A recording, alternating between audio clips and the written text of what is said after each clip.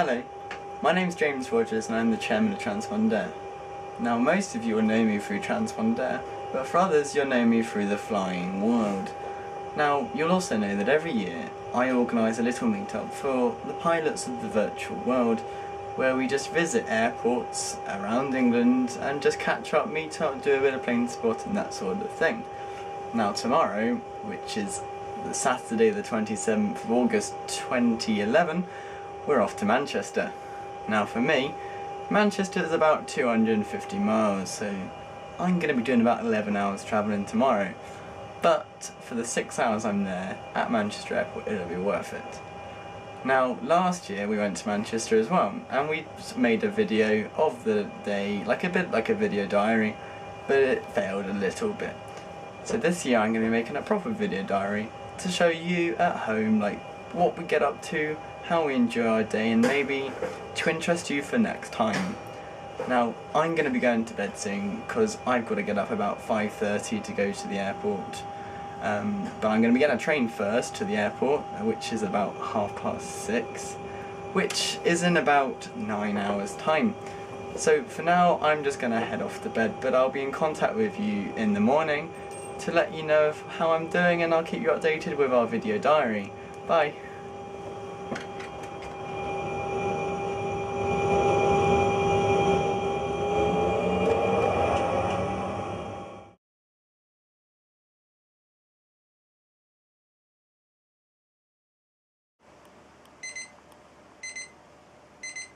Oh, what time is it? Oh, ow, ow, can't see. Whoa, hello. So today I'm off to Manchester Airport, and the time's only five o'clock in the morning. Now it's smash o'clock. It's five o'clock in the morning, and so my train's in about ninety minutes. So I should probably get up sometime to get my train, but I'm perfectly happy here.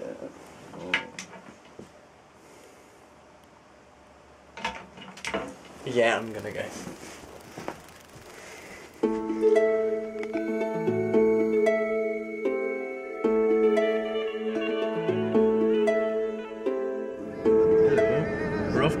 Manchester now. So I've just left and it's 20 past 5 in the morning. So we're in the car with my dad who's driving. Who I thought I'd drive, to, uh, he would drive because I'm too lazy and too tired to drive. This is the sat nav, all on the way to Bournemouth. So you can see I started here and I'm going all the way over here and then I'll be going north somewhere. So as you can see it's still quite dark and some rides are expected until at least 6 o'clock. So for now I'm to say bye and then I'll talk to you when I'm on the train. Bye bye.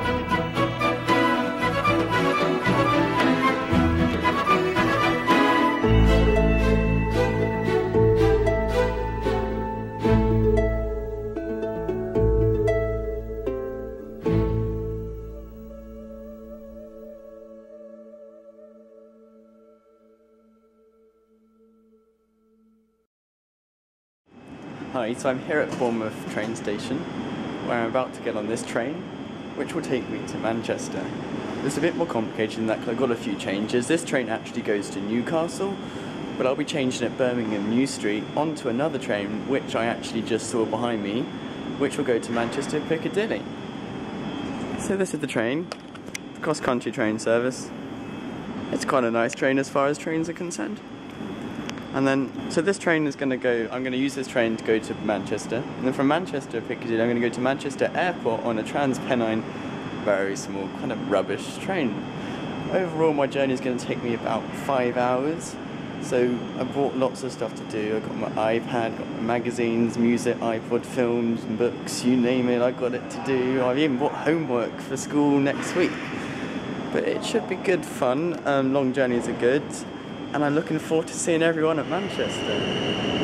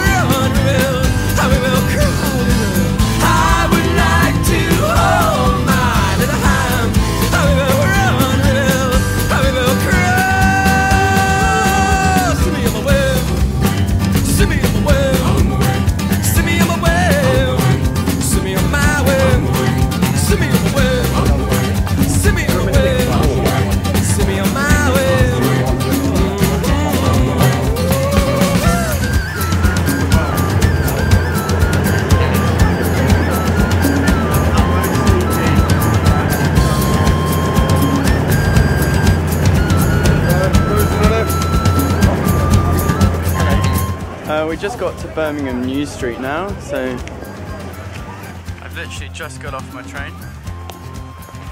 I'm now trying to find platform 7B, where I'll get on my train to Manchester Piccadilly Airport, or Manchester Piccadilly Station, where I'll then change to go on to the airport. So, just going down these stairs now to platform 7B to get my other cross-country train to go to Manchester to Piccadilly. So I'll be on this train for about another hour and a half. So I'll get to Manchester for about 11 o'clock. So this is my train here, which I'm now going to get on. This ironically is the same train that we saw in, um, this is the same train we saw at Bournemouth, so it's a complete waste of time. Um, so I'll talk to you later.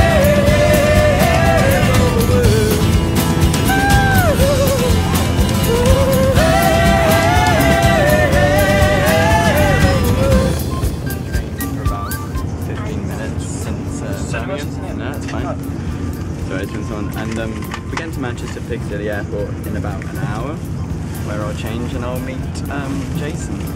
I've just received some news that Tim isn't going to be able to come for reasons out of our control. But we'll probably talk about that more later. Um, so as you can see, the weather's getting a bit worse since Bournemouth. But it's still good fun. Just been sat here watching films, listening to music, that sort of thing.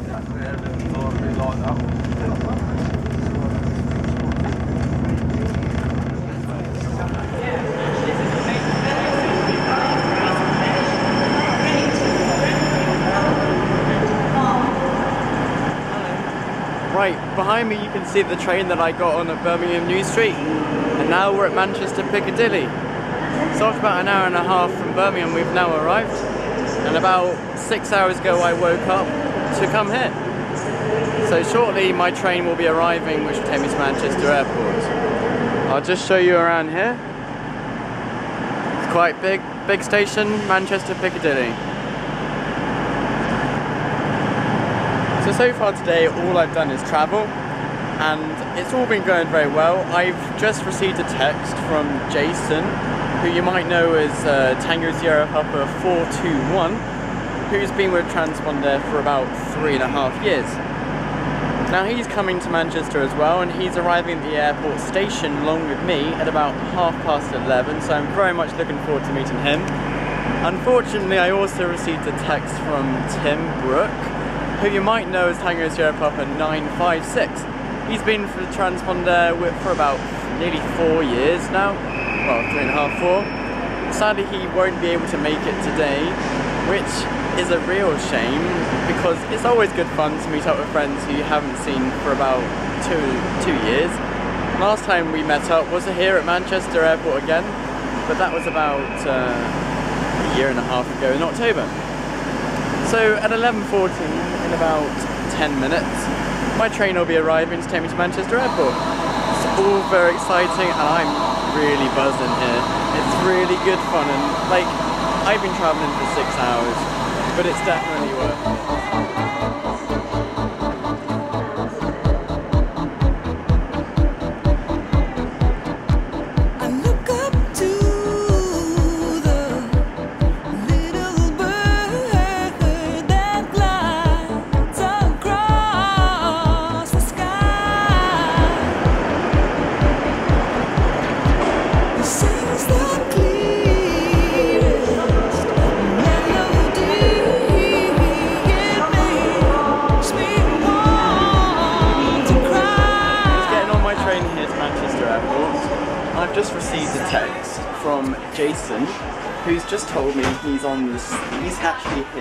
Manchester Airport. No, Manchester Piccadilly, but it's a big place, so I'm now pretty close to seeing everyone again. This is really quite exciting. So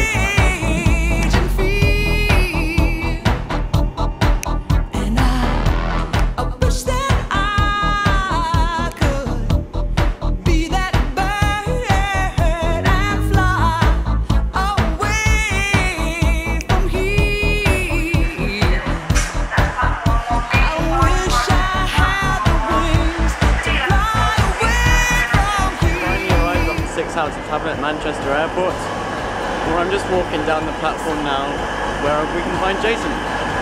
From then we're going to get a taxi or maybe a bus to the Manchester Airport viewing area, which is a designated viewing area for spotters, tourists, that sort of thing, which gives you a good view of the runways and that sort of thing. One thing I do notice here that's not like in Dorset is the weather. It's chucking it down with rain, and for sure I'm going to need my umbrella and coat. Hopefully it'll brighten up because we'll be outside most of the day and I'll be getting wet and cold if it stays like this. But uh, yeah, off to see everyone else. Hey! So we're here now at Manchester Airport. I've just found Jason, picked Hi, him up Mum. from the station. Hi mum, this is what he did last year as well. Um, so it's just the two of us at the moment. We're off to get a taxi um, to the viewing area, which will probably take about five, ten minutes, and then we'll be there for about 12 o'clock. A380 is due to arrive at 12.30. It's all very exciting, apart from the weather, which is a bit annoying, but it'll be fine. So we're in a taxi now. Off we go.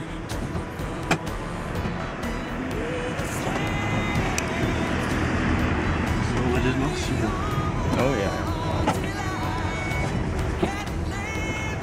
So we're just arriving at the uh, viewing area now, and it's still raining. But it's good fun here, as you can see behind me, we've got lots of aircraft exhibits. There's British Airways A319 just going past there. So quite exciting really. Oh,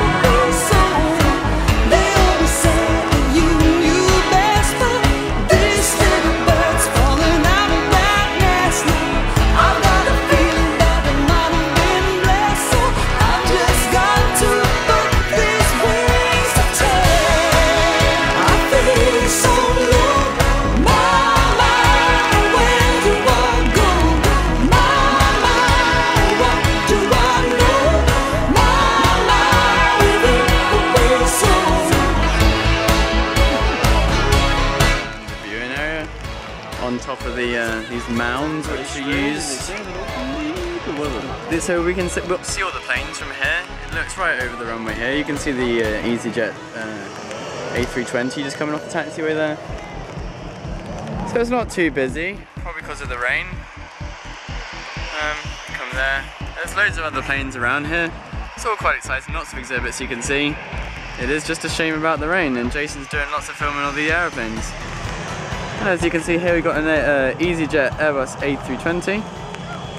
It's really quite close, you can get really close to these planes, which is one reason we come to Manchester than any other airport, which is quite exciting. Now in about uh, five minutes we've got the Airbus A380 arriving, so hopefully we'll be filming that and taking lots of pictures. Jason has just put his sunglasses on. Sunny. It means it's sunny. Manchester. Who would have thought sun in Manchester?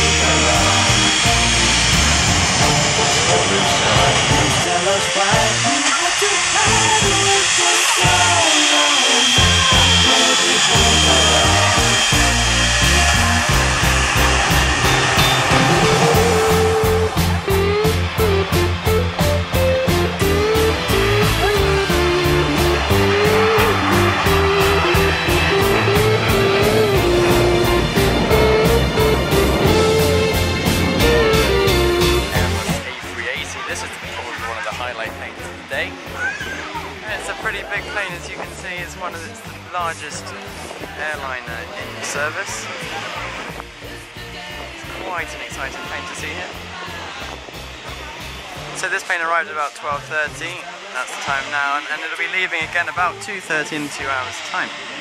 So we'll see it take off as well as land today.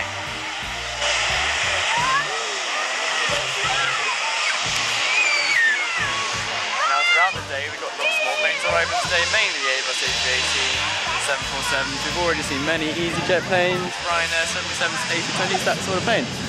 Now Manchester Airport is a large international airport, so we get quite a lot of planes arriving. Uh, so lots to keep us busy today. As you can see, the rain has actually stopped. And it's uh, getting busy.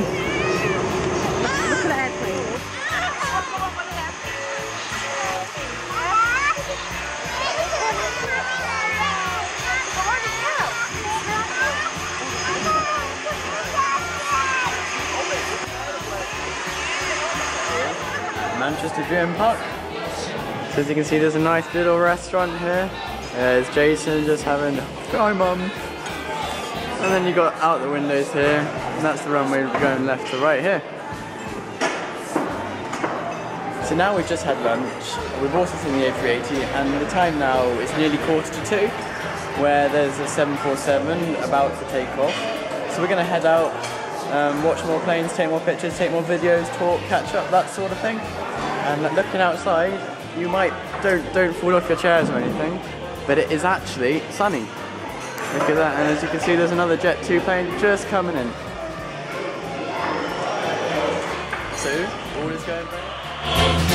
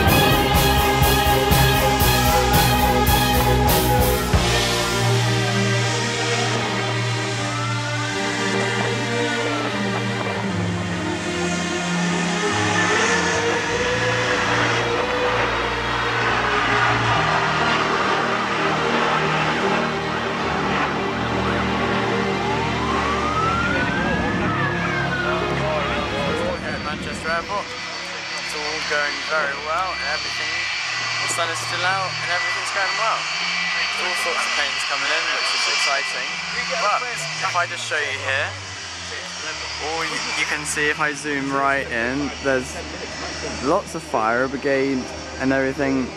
There's some there, and there's some more in the distance over there. Now basically what's happening is an emergency landing coming in now. So the next aircraft is a vehicle, an emergency that's coming in. So we're quite excited to see what's going to happen. We'll watch out, we'll film it. And, uh, other than that, the day's going very well. I'm Jason and me having a lot of fun.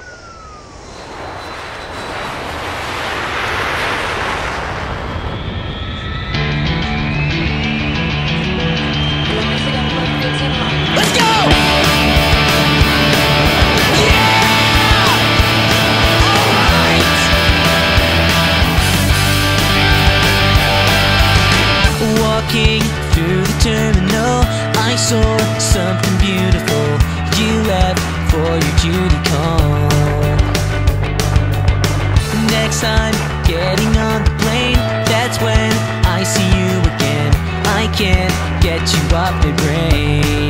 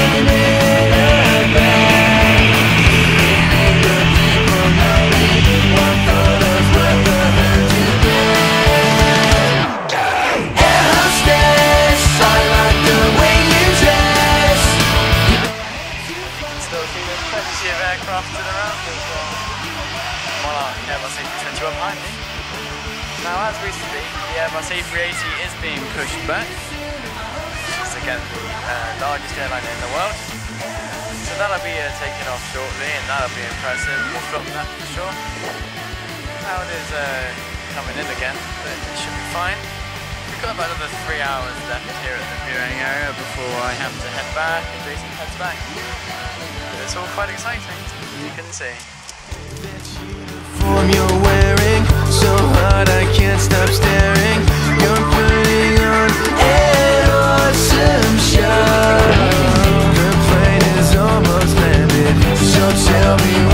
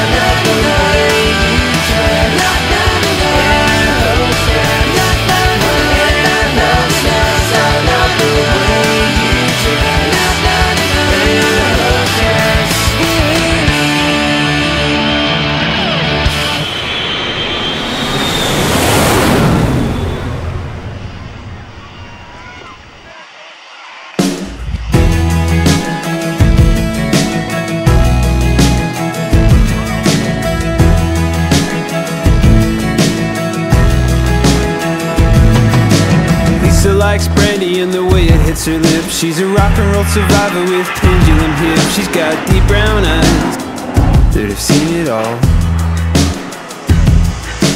Working at a nightclub that was called the Avenue. The barman used to call her Little Lisa Looney Tune. She went down on almost anyone. From the hard time living till the Chelsea days. From when her hair was sweet blonde till the day it turned gray. She said L-I-F-E-G-O-E-S-O-N You got more than money sense, my friend You got heart and you're going your own way. L-I-F-E-G-O-E-S-O-N What you don't have now will come back again. You got heart And you're going your own way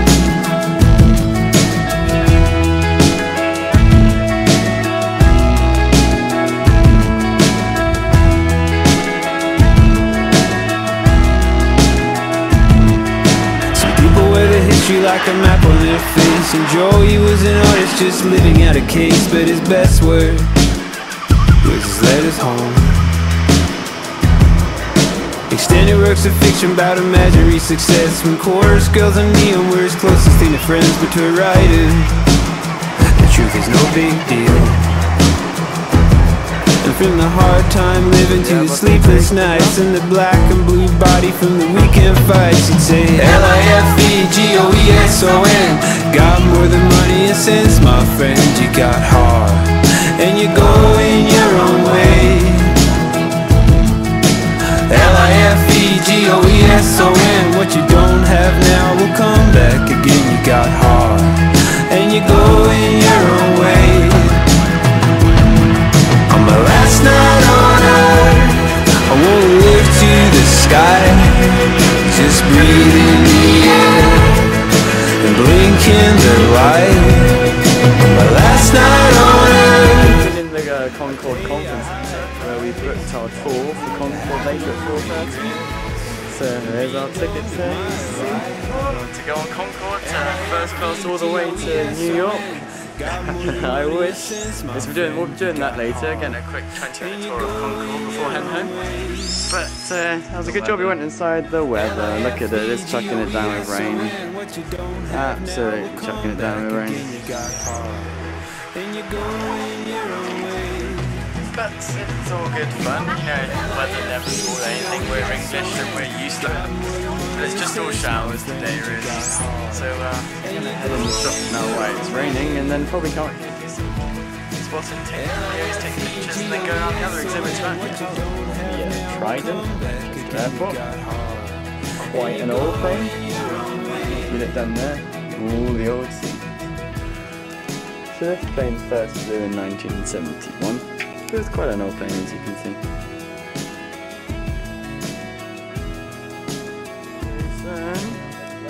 The emergency exits, if you find them, are here and here. And just behind you in the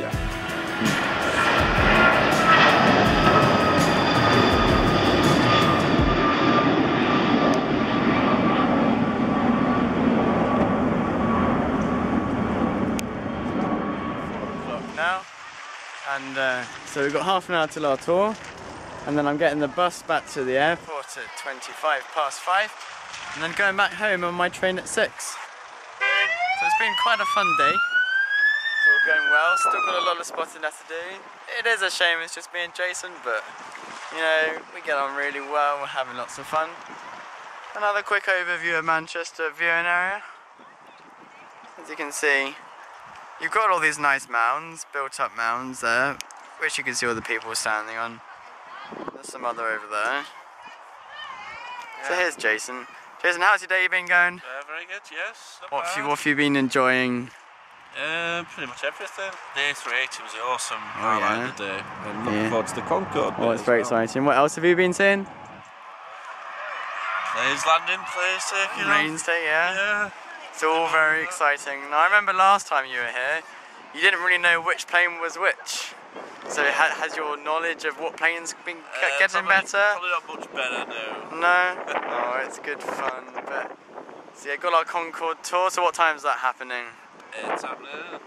Half an hour. I'm sure you're very excited about that. I'm very excited too. We seem to be lucky with the weather. Where's my glasses here now? He's even got his glasses on his head. So it's all good fun.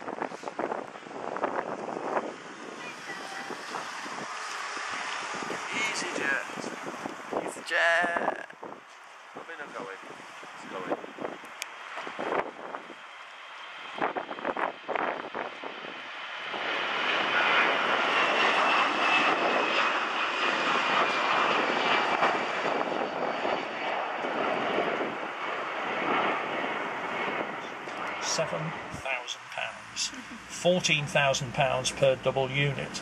So hmm. this revised cabin interior added another £700,000 on top of the £3.5 million pounds that were spent on the rubber and Kevlar linings in the fuel tanks. Then there were the new tyres, and then on top of that, there were various other mods that had to be made to the aeroplane as well. So the post Paris crash modification program was very expensive indeed. You also notice you get 38 inches of leg room, none of this 29 inches and 31 inches as per Ryanair and SqueezyJet, basically 38 inches of leg room. Mm-hmm. Doesn't look as though we've got much in the way of in-flight entertainment on the aeroplane, not that you really needed it. Standard flying time London, New York, New York, London was around about 3 hours and 20 minutes, and of that time, most of the time you would in fact be wining and dining in some considerable style. But if you did have the odd moment of boredom, within each seat arm we've got a socket, you could plug in a headset, you could listen to pre-recorded music carried on the aeroplane, or you could listen to the terrestrial radio stations as the aeroplane flew along. The next bit of your in-flight entertainment are what we call these Mary Lake graphic displays. Now, sadly, these are facsimiles. The real ones were turned off by British Airways. We hope to get them going again at some point in the future. But as Concorde was accelerating and climbing, these numbers would be scrolling through until the magic numbers came up to show you were flying at twice the speed of sound at some incredible height above the ground. And of course, if it was your first time on Concorde, as soon as those appeared, you had to have your picture taken, sort of been there, done it, etc. Third part of your in-flight entertainment was obviously your in-flight meal, and because you were paying so much money for your ticket, say three and a half to four thousand pounds one way across the Atlantic, of your ticket money, 35 to 40 pounds went on your in-flight meal. So you're eating the world's finest foods and also drinking the world's finest wines and champagnes, many of which were Premier Crus and Grand. While the aeroplane was flying at supersonic speed, the rush of air from the cabin would be so dramatic that the aeroplane would break up and we'd lose the aeroplane and the passengers, which ain't good for business. So by having these small windows, if one of those does fracture or fail at supersonic speed, then the loss of air from the cabin is more gradual and it gives the crew a chance to recover the aeroplane to a lower, safer altitude, thereby saving both aircraft and passengers alike. And this aeroplane did carry some very important people in its day, and many of them had their favourite seats. Why they never sat together, we don't know. We assume they saw enough of each other at Buckingham Palace and it was an opportunity to get away from each other. And as far as we know, the Queen never used the loo on board Concorde, so if you'll pardon the pun, we were never graced with the royal weave, so to speak. Seat 1D was also the favourite seat of the late Princess Diana, the favourite seat of the late comedian Bob Monkhouse, and also the favourite seat of Sir Elton John. You might like this, you know. What is it? You're a bump buddy with the infamous, notorious, and late Michael Jackson. Oh, wow. But being the oddball character that he was, he would always book two seats for himself so that no one could sit next to him. Did When he got on board that? the aeroplane, he would cover himself from head to foot in a blanket, no food, no drink, no nothing, and he would stay under the blanket until he got to the other end of the journey oh, and then straight off the aeroplane. Weird as always. Row 5 was the favoured row of the former American President Bill Clinton. Row 7 was the favoured row of the late lamented Luciano Pavarotti, the Italian opera singer, but again, being a big bulky lad, he would always book two seats for himself, and he had enough room to spread out. Now, this aeroplane on the other part of that team was the golfer Jose Maria Olazabal. And whilst the aeroplane was being flown at twice the speed of sound, Jose Maria got up, went to the back of the aeroplane, and he putted a golf ball from the back to the front. And time it took the golf ball to come from the back to the front, a mere 23 seconds, because the aeroplane was flying at twice the speed of sound, the golf ball, in theory, covered 9.2 miles. And last but not least, if you were sitting in row one here and you went to the forward toilet on Concorde, which is a mere 10 feet away from your seat, in the time it took you to get from your seat to the forward because the aeroplane was flying at twice the speed of sound, you actually covered a mile and a half to go to the Louis in Concorde, so there you are. Now I'm going to come down to the back there. What I want you to do is to come forward, have a look over the Perspex partition. If you want to take any combat photographs. Uh, well, basically, it was a royal fight. You used to be allowed to sit in it. Behind me is Concorde. Jason and me have just gone on a little tour of Concorde, which has been taking about 20 minutes. It's quite impressive, really. So it's good fun, and the tour continues. Jason, you having fun on the tour? Oh yeah, awesome man. I'd love to have been able to afford to have gone on here. Now, whose whose seat was I sat in? You were sat in the Queen's seat. Oh yeah. Now, you've had a look on board our little aeroplane, just have a look at one or two bits and pieces outside. Now, the most beautiful feature of our aeroplane is Concorde's nose, which is in the fully raised position, as it would be for supersonic flight and speeds over 300 miles an hour. But Concorde's nose could move, you'll see there's a curved line coming down from the windscreen area. That's where Concorde's nose would hinge. For manoeuvring on the ground, for takeoff, and for the first part of the approach to land, Concorde's nose would be lowered by 5 degrees. For the final part of the approach to land and for touchdown, the nose would be lowered by 12 and a half degrees. And in fact, when the nose was lowered, that lovely streamlined windscreen at the front, that would slide down. Oh, we just had. So we just finished Concorde the tour. And Yeah. it's about five o'clock. I think we both enjoyed that. Yeah, I think it's just surface time. We ought to have had more time and sat in the cockpit. Yeah, we weren't actually allowed in the cockpit. You could have done extra tours, but that's talking twenty pounds, and we didn't have time to do So, that.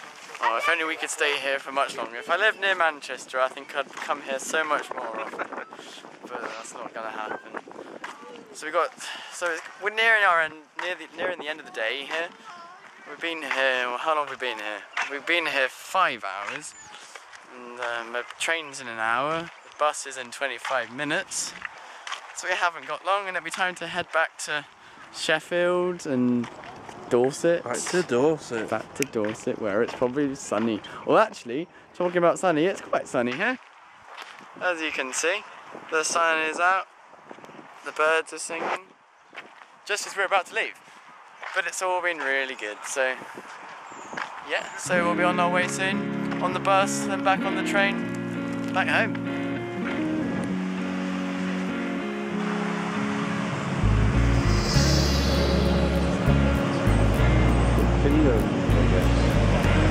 Straight from Finland. I wish I knew how it would feel to be free. I wish I could break all the chains holding me. I wish I could say all the things say. I'm loud, say I'm clear for the whole wide world to hear. I wish I could share all the love that's in my heart. Give me all the doubts that keep I call my traffic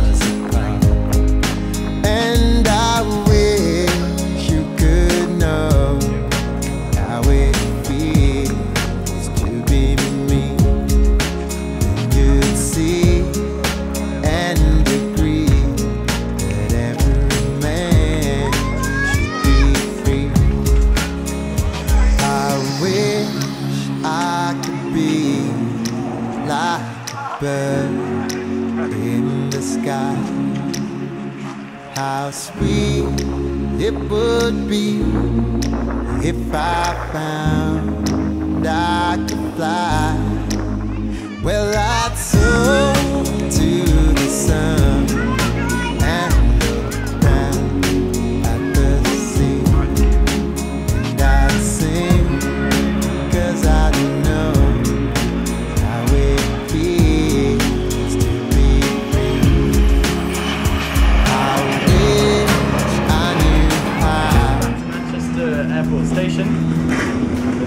the, the bus driver even gave me a charm. Well, it's made my day. Well, it's been a fantastic day. I've had so much fun. Um, we're now on our way back. Jason's going back to Sheffield on the train. Probably take an hour. Lucky him. But it'll probably take me about five hours. My estimated time of arrival at home is about 20 past 11. So that's like another six hours. So I'll probably go back to the airport, have some food, jump on a train, and go home.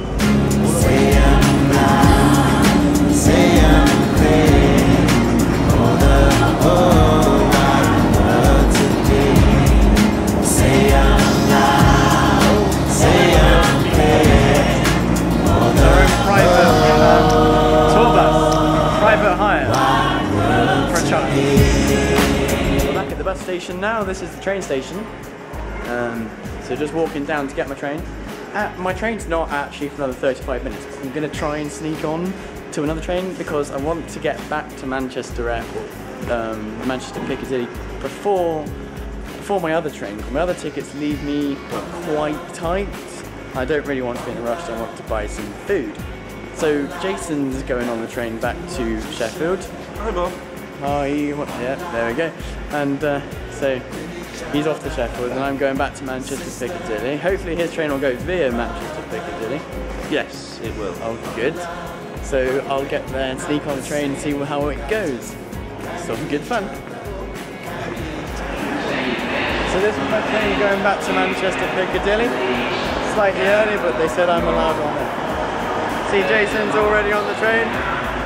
Hey, there he is. Hi, Jason. So just gonna get on the train now. All very excited. So we're back here at Manchester Piccadilly after our little journey from Manchester Airport. Um, so we haven't been all the way around here yet. Nice pose. So we're just about to try and find some food before I get on the train.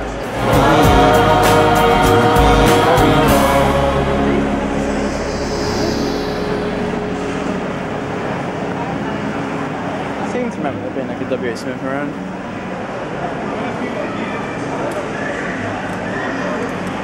Can't remember. The train has just been cancelled.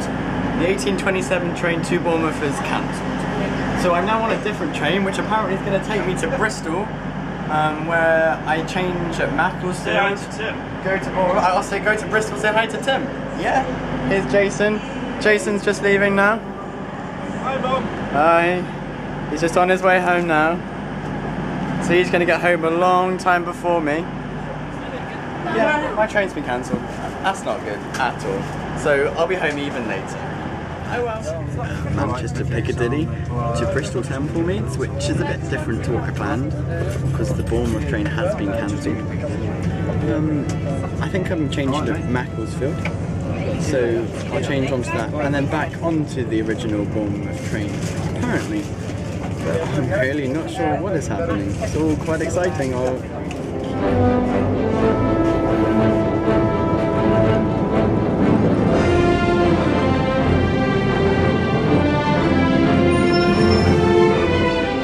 less stressed now because I've found the new train that goes to Bournemouth. So I'm now here at Macclesfield, as you can probably see on the sign there. So Macclesfield somewhere around Manchester. I, I have no idea where I am right now, but uh, apparently my train to Bournemouth is going to restart here. So basically, my ticket I got on a Bristol train, took me to Macclesfield, changed at Macclesfield, and now going to Bournemouth. So it should all be fine and then I'll get on the train, sit there for about five hours, and then get off in Bournemouth. So it's gonna be a long journey. I haven't really got much to do. A few books, magazines, films, eat. I bought lots of food um, to keep me going. Um, I'll probably just randomly talk to you um, throughout the journey on my video diary. I hope it's been a good video diary and you've enjoyed um, watching me doing whatever I've been doing, mucking around Manchester for the day. It's, it's been a long day, but it's been good. I've loved every bit of it. So my train will be here.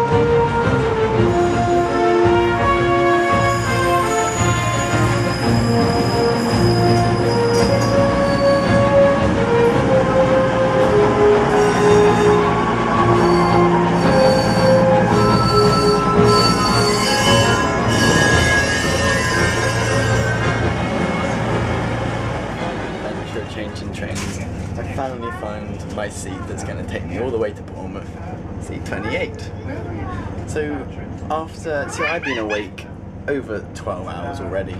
I've still got another 6 hours before I get home. So it's another 5 hours to Bournemouth now, so I've just got my dinner, my lunch, my iPad, that sort of thing where I'm just going to go to sleep and rest until Bournemouth. It's been a great day. Um, so I'll probably uh, speak to you when I get home, sum up the day. That sort of thing. Roger's still here. Came half a train back home to Bournemouth. I've been on this train for about I've been about two and a half hours now. About three hours to go. Just gone through Leamington Spa, so still a long time to go, and I've just been sat here watching film. As you can see here on my iPad, I've been watching The Hangover. Keeping me occupied until uh, so it's getting near to 9 o'clock now, so I'm probably going to go to sleep. Massive shark churning up the water debate. How can you say it was there? Because it was. Fix that yourself. You said one thing and then next time me again said that you to get to it. At this point, the exasperated chief banged the silence chief officer. They'll never recover from Where big people go to school. Oh yeah, twice.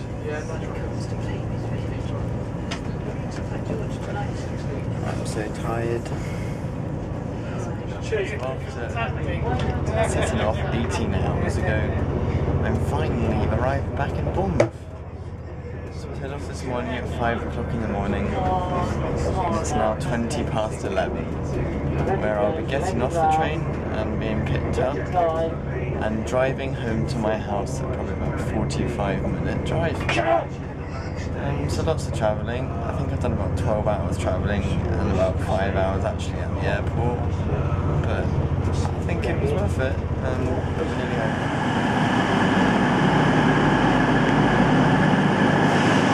Welcome back to Bournemouth. So, middle of the night now, so I head home.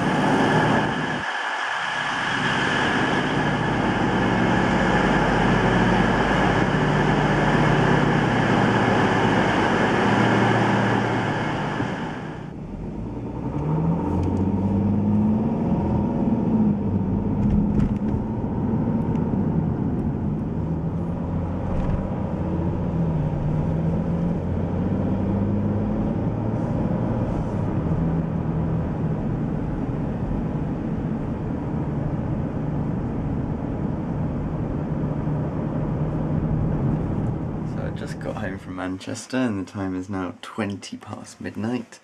So actually I kind of went to Manchester for two days because it went over two days. Um, so I'm just gonna uh, get ready for bed.